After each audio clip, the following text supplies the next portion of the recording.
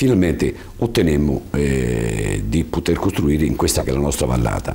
A me mi incaricarono di trovare, essendo il più grande, di, di, di cercare di darmi da fare a trovare una zona e facemmo delle lunghe e larghe passeggiate chiedendo informazioni varie. Qui davanti a noi dove siamo oggi c'è la prima villa di Giacomo Leopardi dove il poeta Giacomo veniva spesso a studiare, io conoscevo bene anche il Conte Franco. Per prima cosa chiesi a lui se ci dava 4-5 ettari di terra in questa zona e Franco non mi disse di no, soltanto che mi chiese un prezzo che era impressionante e francamente eh, non potevamo noi spendere quella cifra.